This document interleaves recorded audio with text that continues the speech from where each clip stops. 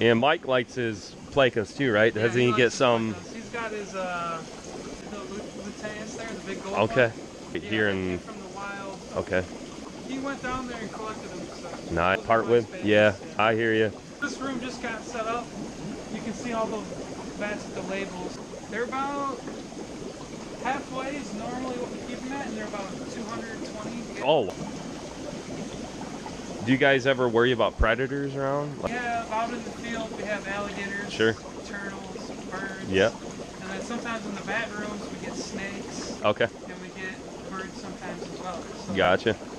We have sometimes raccoons, cats. A little bit of everything. Yeah, pretty much any fish now. It's unless you're getting a wild caught fish, it really Yeah. isn't too much of an issue. Especially what I've noticed is getting them at a small size, Yeah. Which I prefer anyways. Raise them up together, and it seems like they can co- coexist quite well.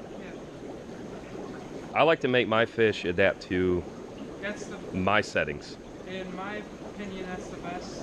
and It's better to work with the water you have than trying to exactly. changing it, and then you're just gonna have Yeah. and more Sure. swings, and it's just not good for the fish. And you guys just like to u- utilize different PVC just for structure and that for them Yeah, to. keep the fish comfortable. Yeah.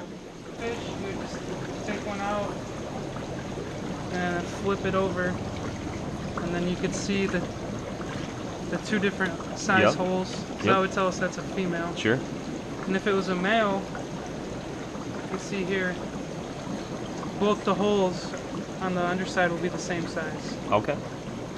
And it, as with most most Africans, you can just tell based on the color. Color. Yep. So, Yep. So for the Africans, venting isn't really too much of a necessity. Yeah. You can get kind of a baseline just Yeah. looking at the color and then go from there. Got. it. Uh, this is one of my favorite the Eureka Reds.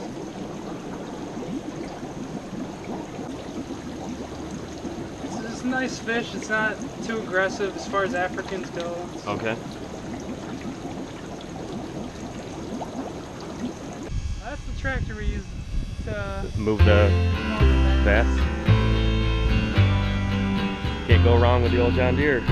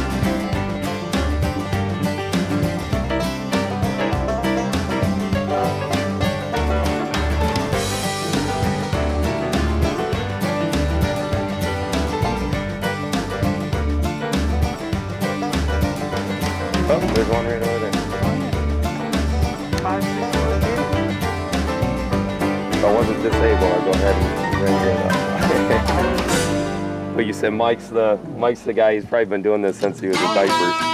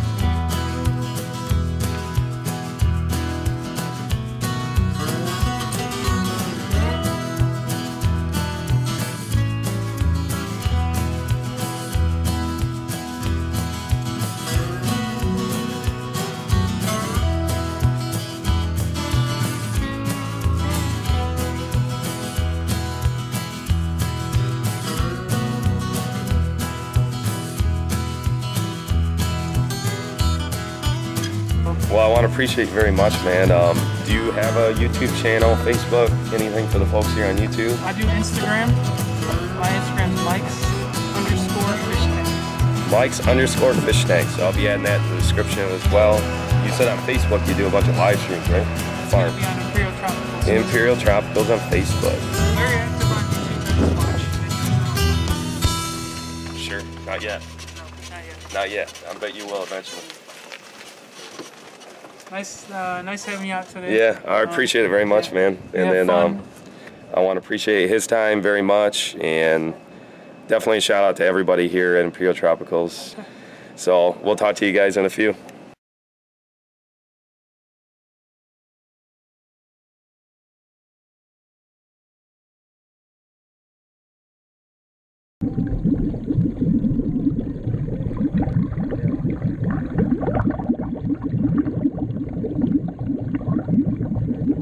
Uh, I like the firecrackers. They have some really cool color on Sure. them. A lot of red, a lot of bright yellow color. Okay.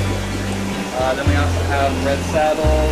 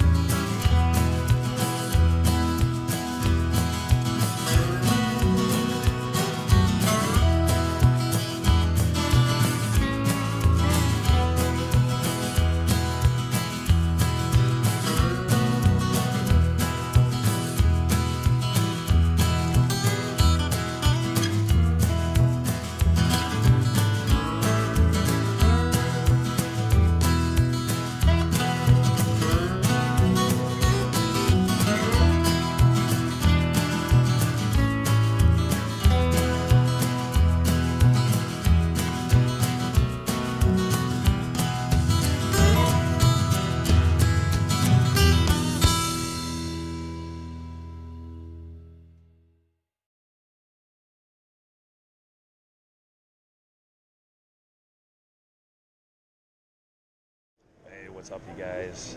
I'm here with Mike from Imperial Tropicals. Yeah, man. Yeah, I appreciate glad it you very came out. much. Yeah, So, yeah. Look forward to seeing you again at the aquatic experience. absolutely. And of course, I'll put a link to their website in the description below. Check out their livestock. They got dry goods on.